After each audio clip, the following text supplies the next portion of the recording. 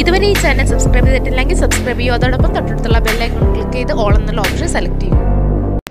സ്ഥിരം കാണുന്നവർക്ക് വേണ്ടിയാണ്. ഓക്കെ ഇന്നലെ രാത്രി ഭയങ്കര വൈകാരികമായ മുഹൂർത്തങ്ങളാണ് എന്റെ വീട്ടിലുണ്ടായത്. എന്റെ വീട്ടിലെന്ന് പറഞ്ഞാൽ ഇത് ഇരിക്കുന്ന സാധനമൊക്കെ ഭയങ്കര കരച്ചിലും പ്രശ്നവും. ഞാൻ അതുകൊണ്ടാണ് ലൈവ് വന്നത്. അത് കഴിഞ്ഞ് ഞാൻ ഈ ലൈവിന് ശേഷം ഈ ലൈവിന് ശേഷം എനിക്ക് വന്ന കോൾസ് എനിക്ക് വന്ന വാട്സപ്പ് മെസ്സേജുകൾ എനിക്ക് മെസ്സഞ്ചറിൽ വന്ന മെസ്സേജുകൾ എനിക്കപ്പോൾ ഒരു കാര്യം മനസ്സിലായി. ലക്ഷോപലക്ഷം പ്രേക്ഷകർ ഈ ഒരു വികാരത്തിന് അടിമപ്പെട്ട് നിൽക്കുകയാണ്. എനിക്ക് ഏഷ്യാനെറ്റിനോട് ഒരു കാര്യം പറയാനുള്ളൂ പ്രിയപ്പെട്ട ഏഷ്യാനെറ്റ് മാധവൻ സാർ. അറിയില്ല ഈ പരിപാടി ഇതെന്താണ്? നമ്മളെയൊക്കെ ഒരു വല്ലാത്ത വികാര മുഹൂർത്തത്തിലേക്ക് കൊണ്ടുപോകും. കാര്യം നമ്മളിപ്പോൾ സീരിയൽ അഭിനയിക്കുന്നു അല്ലെങ്കിൽ സീരിയൽ കാണുന്നു.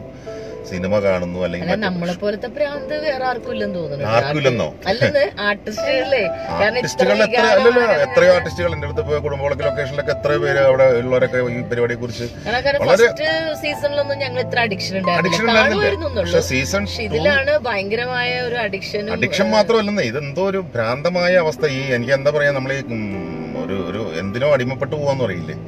എന്തൊക്കെയോ വികാരങ്ങൾക്ക് അടിമപ്പെട്ടു പോകുന്ന ഒരവസ്ഥ. ഇവിടെ ഏഷ്യാനോട് ഒന്നേ പറയാനുള്ളൂ. ഞങ്ങളെ ഈ ഒരു വൈകാരിക തലത്തിൽ എത്തിച്ചതിന് നന്ദി.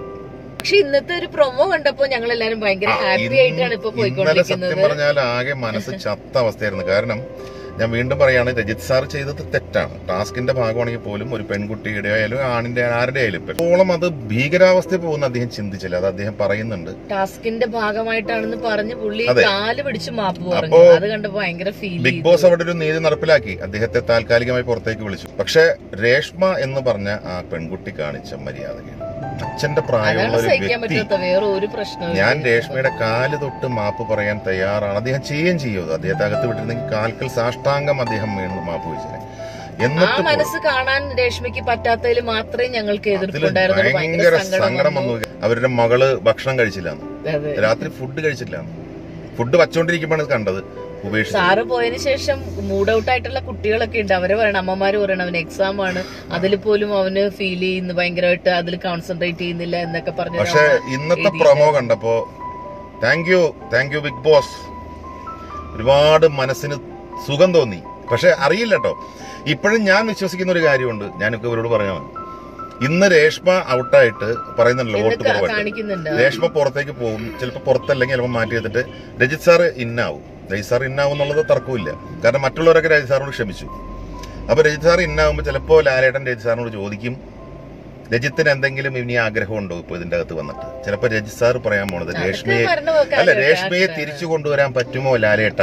അതുകൊണ്ട് അങ്ങനെ സംഭവിക്കാൻ സാധ്യതയുണ്ട്. അങ്ങനെയാണെങ്കിൽ അതൊരു മനോഹരമായ രംഗമായിരിക്കും. അല്ലേ? മനോഹരമായൊരു മനോഹരമായ ഒരു രംഗമായിരിക്കും. അപ്പോൾ എന്തായാലും അത് ഞാൻ പ്രതീക്ഷിക്കുകയാണ്. കണ്ണനോട് പറഞ്ഞേക്കാം. ഒരു വിളിച്ചു പറഞ്ഞു. സാർ തിരിച്ചു വരും മോനോട് വിഷമിക്കണ്ടാന്ന് ഓക്കെ പറഞ്ഞേക്കാം. ലക്ഷക്കണക്കിന് പ്രേക്ഷകർ കാത്തിരിക്കാം എന്തായാലും കണ്ണ? വല്ലതും പറയാനുണ്ടോ അതിനെ കുറിച്ച്. കട്ട സപ്പോർട്ട് അത്രേ ഉള്ളൂ. രജി സാറിന് ഇന്ന് രേഷ്മ രേഷ്മ ഔട്ട് എന്ന് പറഞ്ഞപ്പോ തന്നെ ഒരു സമാധാനം. വേറെ ഒന്നല്ല അതിനൊരു നീതി ഉണ്ട് എന്ന് തോന്നിയത് തെറ്റ് ചെയ്യുന്നവർ തെറ്റ് ചെയ്യുന്നവർ പുറത്തു പോകണം. അത് കാവ്യനീതിയാണ്.